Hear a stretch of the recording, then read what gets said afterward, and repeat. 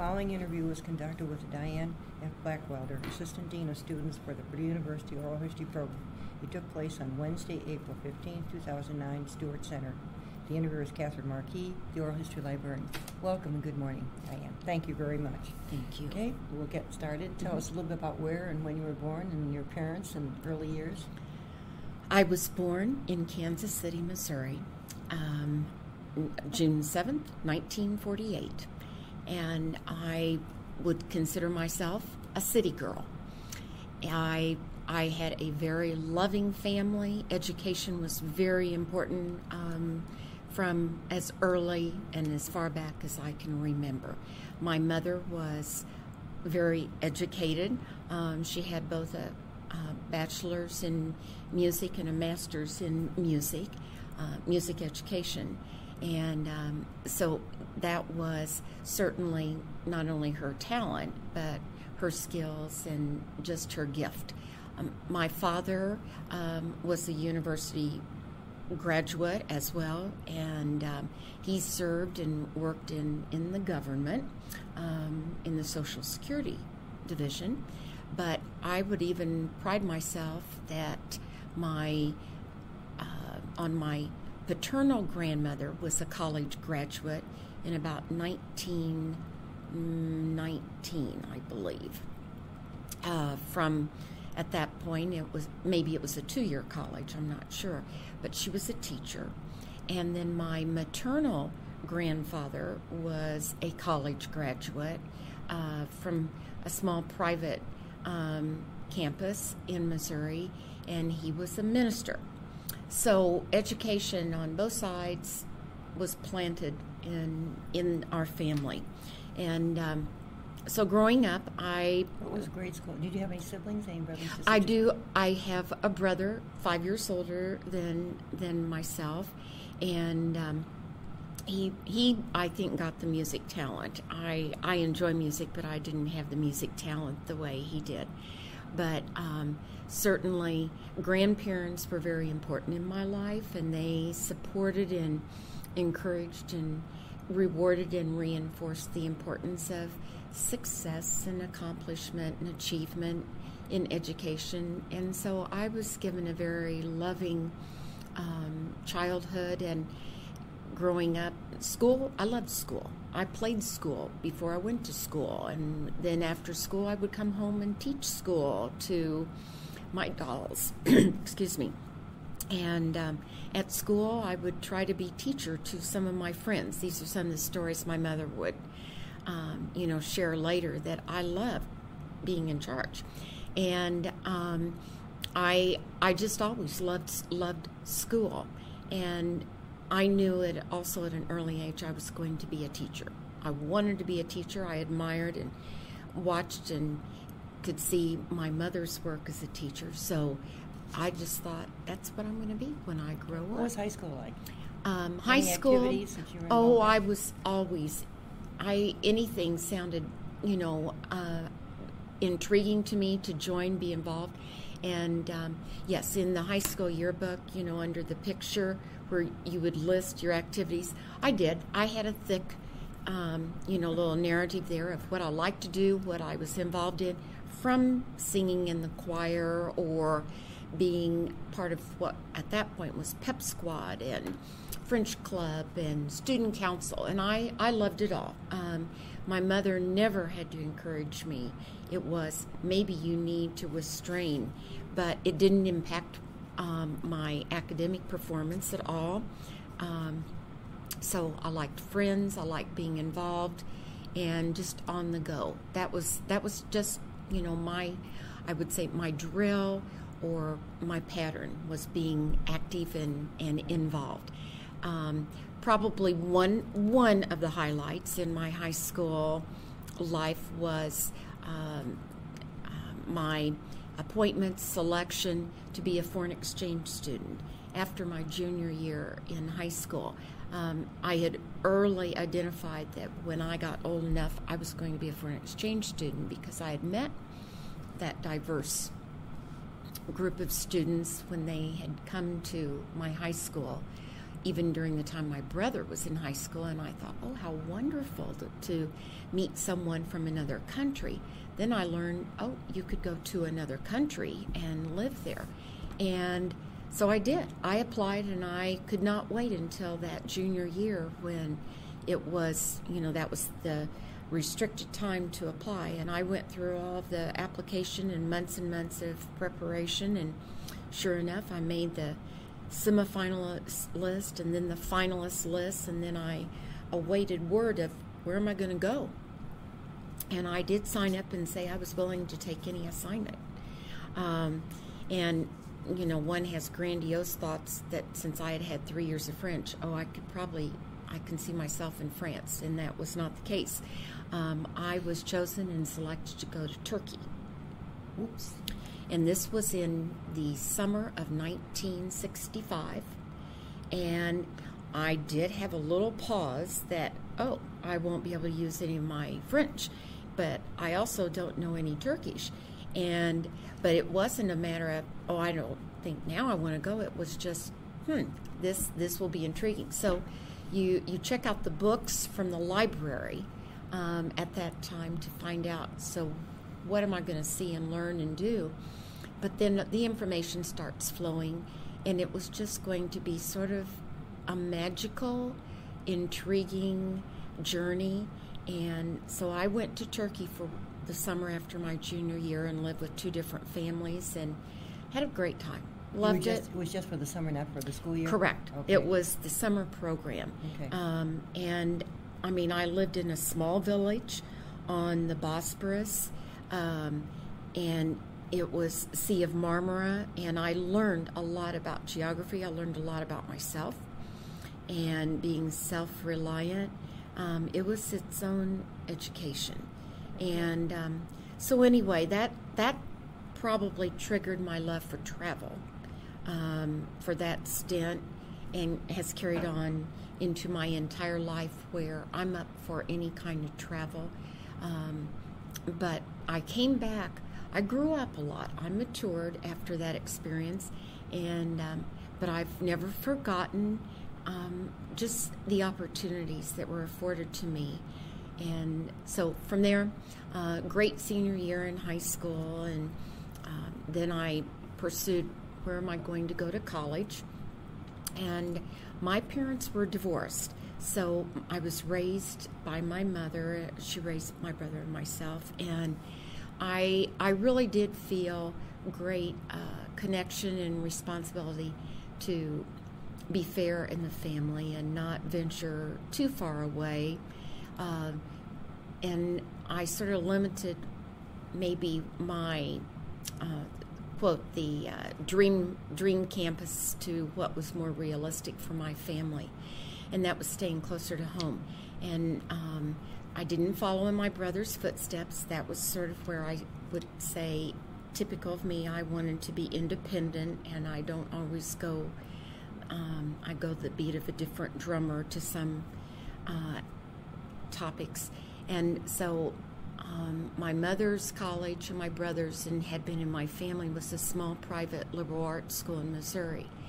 And when I expressed that I didn't think that was for me, I went to the small private liberal arts school in Kansas. And and it turned out to be great. It was wonderful. It was small, it was smaller than my high school, but that in fact was um, it, it, made it a great environment. It was a small town since I'd been in a city, and I cultivated and made such great friends, friends for was life. Co-ed or? Oh yes, okay. very very much co-ed. Um, Methodist affiliated school, Baker University. Okay. Very old, and um, I joined a sorority. Um, I I had studied. I what was available there. Great teacher education. So I knew I was going to be majoring in elementary ed, and um, the history of the the Methodist Church in connection to that uh, campus was extremely strong. And being a Methodist myself and having a grandfather who was a Methodist minister, that certainly had its influence.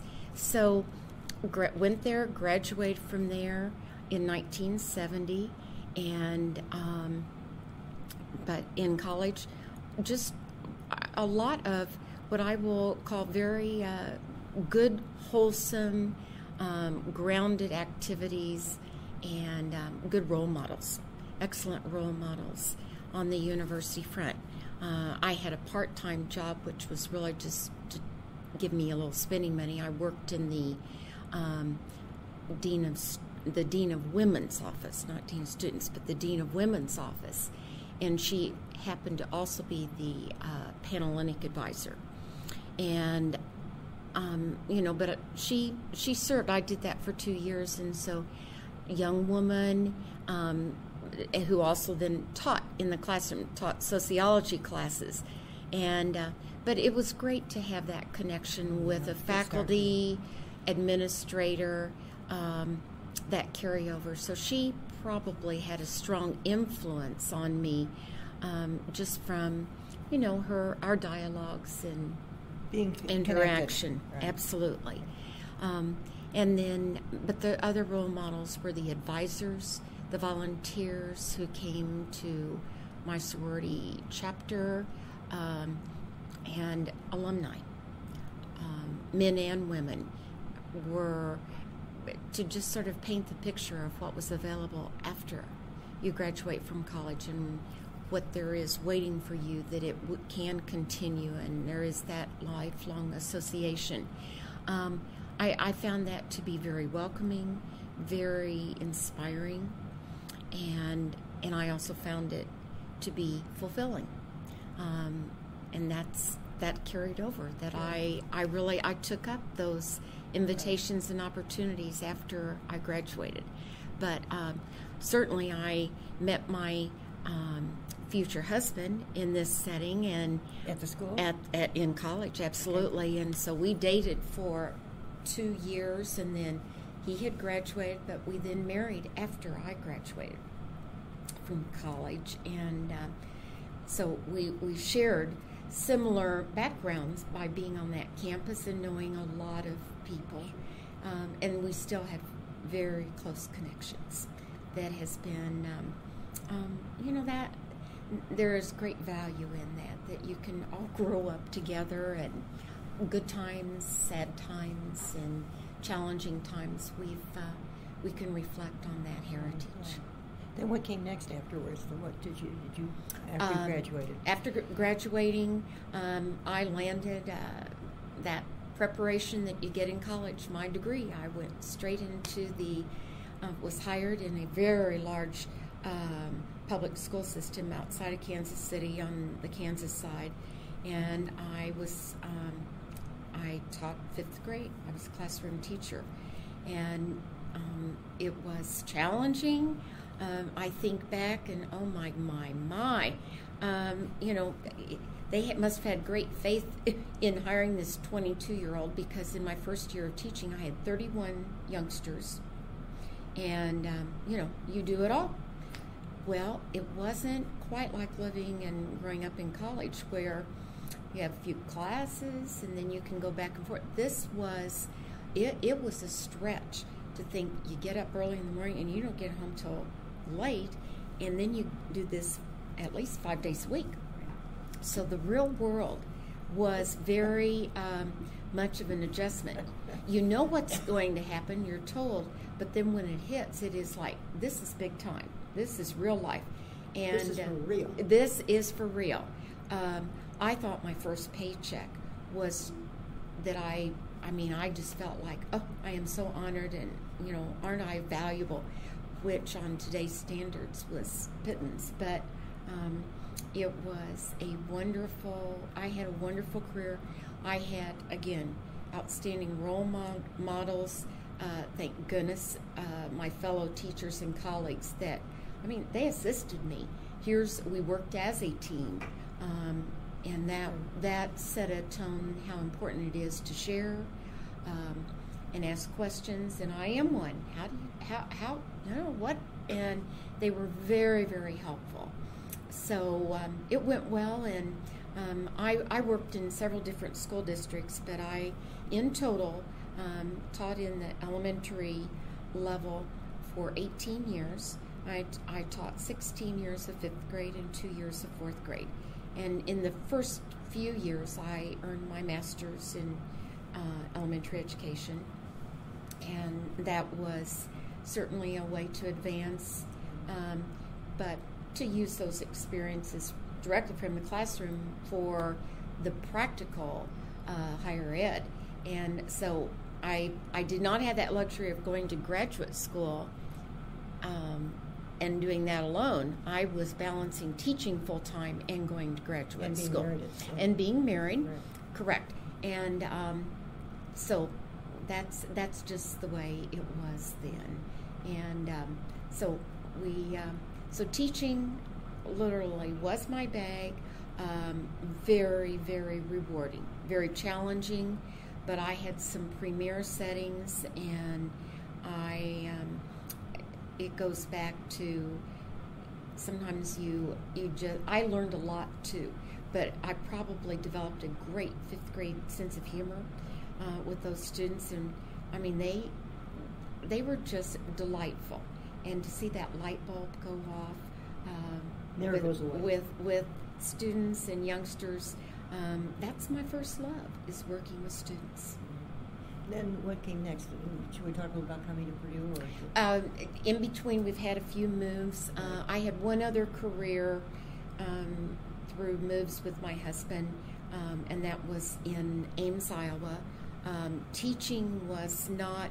Um, being a teacher in that school district and just some different roadblocks didn't work out. And we we had two children two sons and when we moved to Ames, Iowa in 1991 uh, our oldest son was getting ready to enter high school. Difficult transition. Our younger son was getting ready to enter fifth grade. So I thought it was extremely important that I try to be as available as possible. Um, for for the family situation. And um, I waited a little while, a couple years, and then I did um, pursue what was available, and that was working for a human service United Way agency uh, program that served uh, youth and families of Central Iowa. And I I got involved through being on a volunteer committee in the community and later that unfolded into some other work. So I became the director of that foundation for that, uh, not just program, but for that um, Youth Services Corporation. And I did that for almost seven years. And um, then, you know, felt that my time had been well spent and um, I needed to sort of take a break. So when we came to Purdue in 2001, um, it, again, fresh start, but I had been out of teaching by then for 10 years. And I thought I best assess and do some soul searching of what might be available. And it took a few years um, for me to more or less be pointed or see the stars get aligned. Um, I had been working as a volunteer all these years with students and with my sorority. Um, and kept in touch with and I. I um, am serving um, my national headquarters as a volunteer officer and being involved in leadership programs um, all along the way. So I wasn't out of touch. And sure enough, here at Purdue, I became um, involved with the Panhellenic Association as a regional person, um, and that that opened doors. I was able to make connections, and sure enough, in uh, the summer of 2004, I made an application to apply for the um, Student Activities and Organizations Department of the Office of the Dean of Students. And they were looking for applicants and, and candidates who had worked with students, leadership, all the above in education, masters. Um, and I applied, and um, I did get to go through an interview, and things did not quite line up for what they were looking for, what, where I could best utilize all my years' experience. But what it did was open up the conversation later that there was there was a need to have someone help in fraternity and sorority life, um, particularly with the sororities. And just jump fast forward when that was dangled before me. I just jumped at it and said, "This is the dream job," and um, I I was able to jump right in. Um, didn't miss a beat. And some of the things that you were involved in? I'm thinking the researchers might want to know some of the okay, researchers. Well, First of all, on this campus, with um, the history of the sorority, the needs, why, why, or what is the purpose of um, Greek organizations, Greek letter organizations, sororities, and fraternities? And if we look back in history, even at Purdue, we know that women had a special need, particularly in 1915, for social connections, women that they could share similar, um, you know, interests in the sorority. That's one of the beginning principles. Uh, similar backgrounds, your interests, uh, that friendship connection. It's huge, and it can build from there. And so then as more and more women join, it's like, well, this the system grows and more groups are added, both on the sorority and the fraternity side, which was going fairly strong. So in 1915, first sorority was organized, Kappa Alpha Theta here at Purdue, and then through the years, more groups have come. And my uh, my chapter, Alpha Chi Omega, was um, colonized in 1918 here at Purdue. But we have many old, old chapters uh, that have been in continuous business since you know that time, which speaks to heritage, um, longevity, strength, and purpose. Um, the values um, are still, I would say, right in line that striving and helping to promote education. Um, we believe in academic achievement, uh, offering leadership opportunities, um, teaching responsibility, because in most cases, those sororities, the women themselves govern one another. And um, skills that are outside of the classroom that can only enhance. And social etiquette, yes, that was one of those ideals, but I mean, there were many, many programs, finances, um, just, you know, trying to build upon what, what could develop women and uh, to being thinkers, valuable leaders, and, and um, you know, and also lifelong involvement. Were you involved at all in the fraternities or only primarily with the sororities? Um, the first four years in my position as assistant dean of students, I worked solely with the sororities on this campus as the Panhellenic advisor. In this past year, um, we there's been a, a new approach that there needed to be more back and forth fluid flow, so that I've been heavily involved in the fraternities and meeting with the gentlemen and working with them. But those two groups together, the sororities and the fraternities, that a lot of that be consolidated into similar programs. So you're with one and then you're sort of with the other, but then you're really with them Sure. together. But my focus was primarily on the sororities and um, taking a look at how their programs could improve, offering um, uh, um, two particular programs, and uh, that started. The first one was in 2005, and that was one we named "Own Your Future: A Woman's Guide to Success," and it was geared to the juniors and senior members of the sororities to have them hear and be advised from expert quote expert um, uh, speaker and Susan Butler was our first speaker. She what was a member or is a member was in a sorority when she was here on campus, and so she felt she could also speak to what her ex- her sorority experience had done for her as a guide and how that fit in with the other goals and objectives in her life. So Susan Butler, the next year um, we had um, Becky Skillman, um, and then we also had um, this is Another another Sure. uh, former uh, Indiana Secretary of State, uh, Sue Anne Gilroy, came up with it. Um, but leaders, um, I think it prominent women. A lot. Oh, just to listen to, they've had all bumpy roads along the way, and yet we we may not know or hear that or think that. So they can. It's called tell your story, and what is the guide? But much of it was you've got your education and and continue to learn um, and try different things and reach out. But some very good, helpful hints um, in a great approach. And Dr. Cordova also had, was a part of that program. Um, so we, I think we really tried to target for the women. Um, there are role models out there, and that was sort of their bottom line too. Find a mentor, or, or find Yeah, more than one. You've been involved in the mentoring as Yes. of encouraging that. yeah. Absolute mentoring is huge, and um, because it, it is going to maybe make it easier for you, and then then you can pass that baton on to someone else.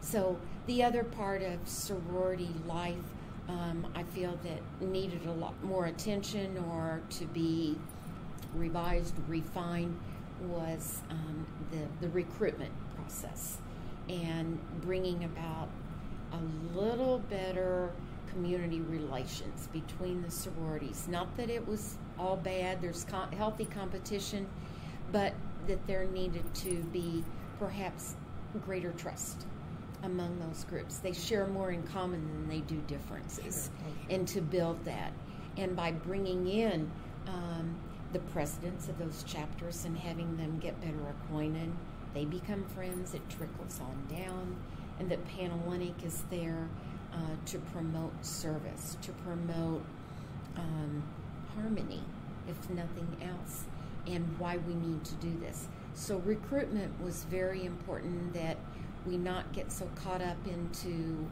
activities, but more of what is the message? Why join a sorority? And there's always work to be done on that front. Sure, that's There truly is. But um, recruitment and helping young women grow and develop, um, the sorority can have a main, be a major stakeholder in that process. And they do a lot of special things, and like the for Easter and, and, and a lot of things in the community. So I, it, with it, it follows along with engagement. Yes. Which is very, you know, Yes. has grown a lot over since Dr. Chesky came. Yes, philanthropy, Right. uh, the the projects, hands-on service.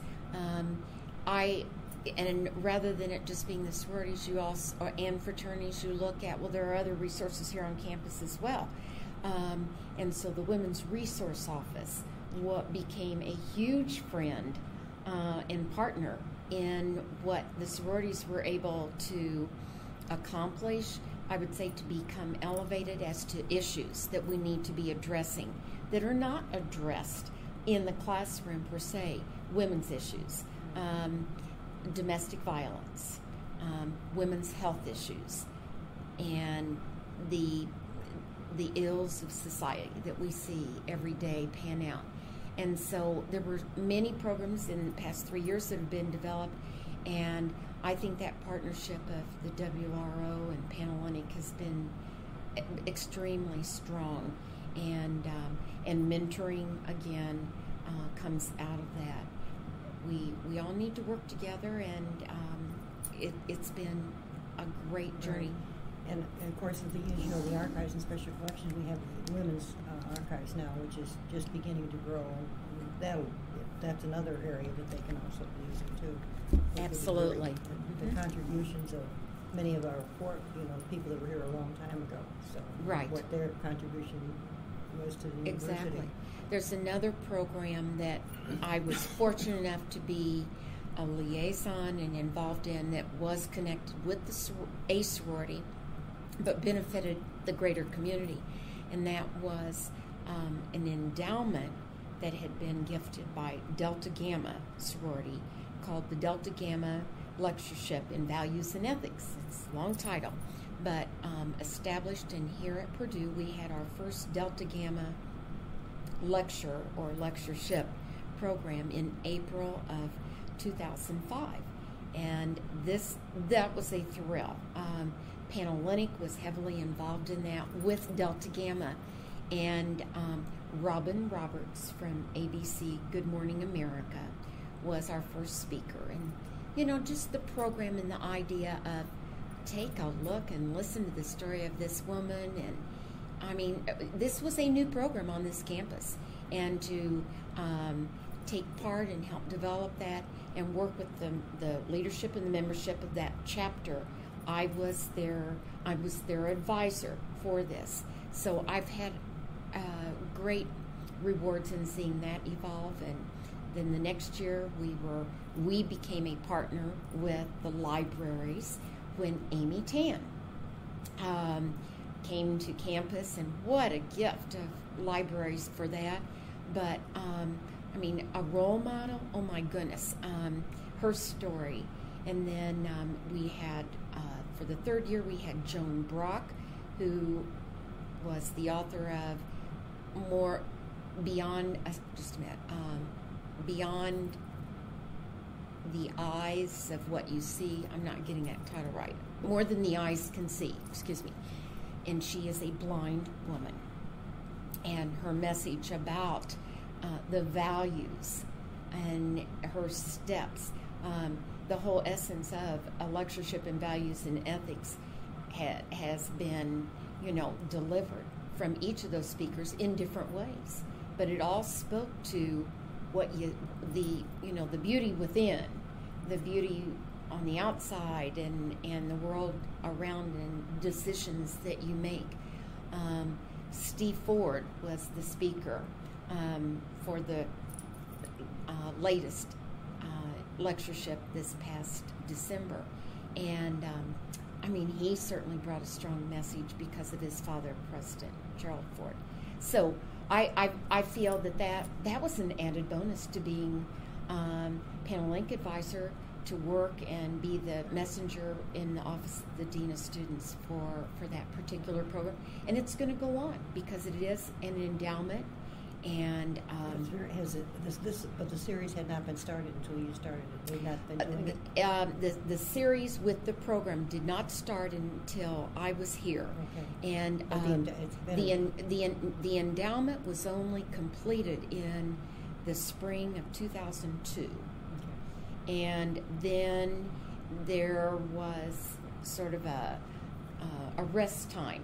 And when um, the Office of the Dean of Students hired me, um, I was asked if I would be willing to take that project on as you know representing, um, and I, I absolutely was thrilled. So we took it from, you know, just that beginning. Okay, what's you know, who would we want, and suggestions. But it involves, you know, that's that's a team effort. It's not one person. A, a lot of team players, but I think everyone was satisfied and um, and anticipate and looks forward to the next and um, getting it, um, you know, on the road. It is only going to get stronger and stronger. and that's key Mhm. that's very Mhm. good right um, let's talk about your hobbies and special interests do you have any that you'd like to share with us hobbies. I like to go to movies. Um, I love to travel.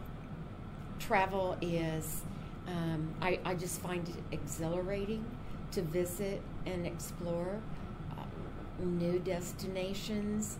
Um, I like mountains and I also like oceans. And usually you have to go opposite places for that.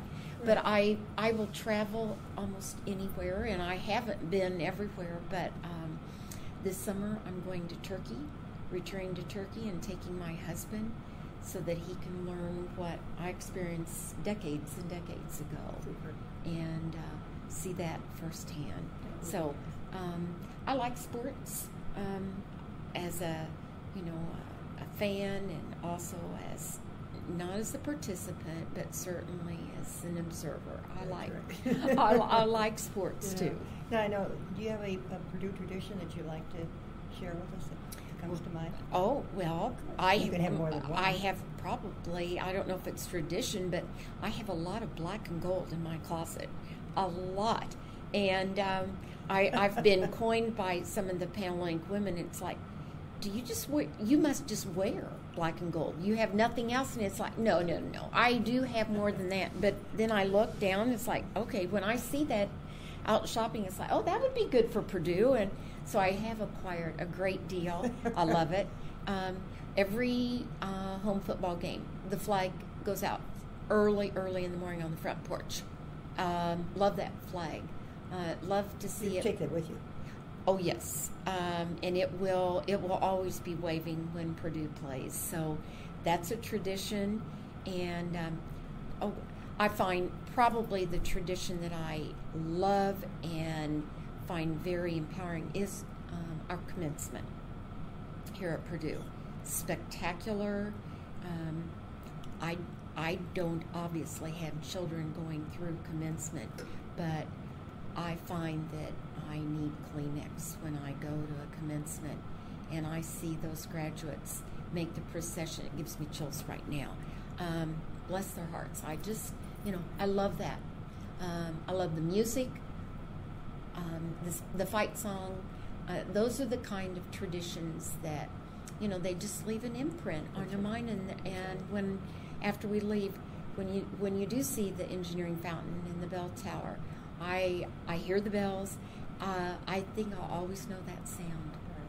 Let's talk about uh, family. You tell you have two, two sons. Two sons. Okay. Yes, our older son was born in 1977, and um, he currently lives in Kansas City, Missouri. Um, he received a bachelor's degree from Iowa State and a master's degree from um, the University of Kansas, and uh, he is married, um, and there is a seven-year-old child um, in the family uh, that my son has learned to love very much, and um, Brett works at uh, the University of Kansas Endowment uh, Association at the KU Med Center in Kansas City. So he is a fundraiser for the Department of Neurology, and um, that's uh, we don't get to see him very often, but I look forward to that. Our younger son was born in September of 1980, and he graduated from Iowa State in the December of 2003, and he graduated with a degree in um, turf grass management. And turf grass management, more specifically, baseball turf. He's a horticulture degree, but he specialized in that kind of grass. So he is going to be one that will always be associated probably with professional baseball fields. He loves it, adores it. We don't know where that really came from, but that is his line of work. He's single now, lives in San Antonio, and um, he's just um, he is a delight. So no daughters, and I guess that also is why I was able to have a lot of fun with the Panhellenic uh, area. It gave me a chance to be with the young women. Sounds good. How about the next stage? And then an outstanding, you got an outstanding.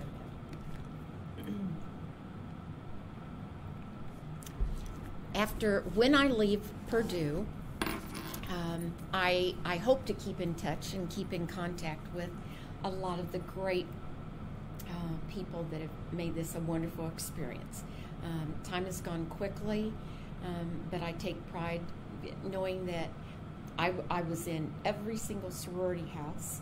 I knew every house director. I ate many a meal in a lot of those houses as you know just an invited guest, um, and that you know what I learned and what hopefully I added, um, you know, will will continue and and uh, you know I will always be available if, if if someone wants to call or keep in touch. You know I can reflect on that. Um, I am involved as a volunteer with my own sorority headquarters. I serve on the National Council as the National Vice President and was elected last summer. That term will um, end in 2010, and um, at that time, I will I will feel like I will have completed good service as a volunteer, traveling the country, visiting different campuses, and asking, you know, what the, the questions having those conversations, um, both with their professional staff on that campus and with the sorority women and officers, as to how is the experience? How could it improve? And I think that's the question that I will. I've learned so well over the years. I will always keep asking, "What do you like best about it? How could it be improved if you could go out and change it?" And um, so when I moved to Kansas City, um, volunteering, I I love being a volunteer um, in organizations. Um, I also serve as a member of my alumni association at Baker University. So I'm going to be very, very close to my alma mater and be able to return to campus. Um, I go there now a couple of times a year, but I will be much closer and can renew those relationships and take part in those activities that distance did not offer uh, prior to that. Um, my father lives in Kansas City. Um, he's 90 years old. I want to say that he is going to be a top priority of mine. And moving back, I want to spend quality time with him while I can and make that time count after not having a lot of time with him. Um, I, I, just, I, I want to keep my options open and um, explore the city. I think there is always um, opportunity to learn and maybe not think, oh, well, someday, but make it that day. That's right. Okay. How about a, do you have an outstanding event that you that comes to mind? That it happened here at Purdue? It does any place. Doesn't have to be at Purdue. An event. Or something special, maybe. Oh my goodness.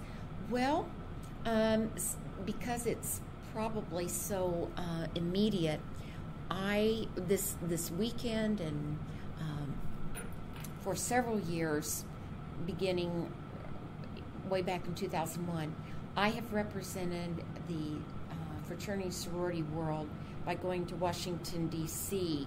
in April um, once a year for a weekend or weekday called Visits on the Hill with congressmen and senators and being the representative from my national organization to help lobby for the Collegiate Housing Infrastructure Act. And there usually are 400 volunteers that this is organized and orchestrated to the nth degree about teams that go in and make these calls.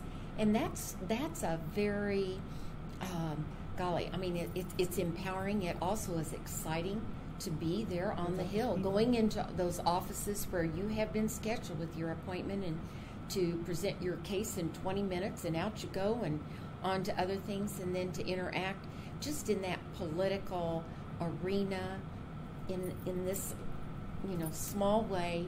You hope that um, that kind of either excitement or that investment sometime will pay off. But that's that's the event in the for the sorority connection and volunteer.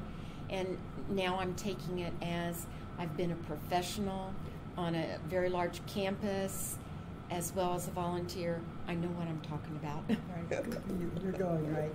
Any closing comments that uh, you might share as you look back or looking ahead, or both? Being a woman today, I'm and either who I am or where I uh, am at this point, I don't think I ever would have predicted when I was in college or even when I was first teaching in the classroom that I would be um, recording a part of my history with Purdue University. Um, I'm very grateful. I'm very humble. Um, Purdue has brought out um, either urges, desires. Uh, it has stimulated me to think creatively uh, and to work with literally the best uh, the Purdue, Purdue name gets people through the door. And, and so once that door is open, um, then if you're ready and you've done the preparation and the planning, you can you can move a lot of agendas. And I'm just very grateful that I had that door to really open And I, not that I've gotten every initiative through, but that it gave me the confidence uh, to be able to say, and why not? Um, so I, I'm very, I will always be very, very proud that uh, I served in, you know, the, the role I served, in. um, I'll always be a loyal Boilermaker. Go Boilers. right. Go Boilers, that's Thank you. right. Thank you very much.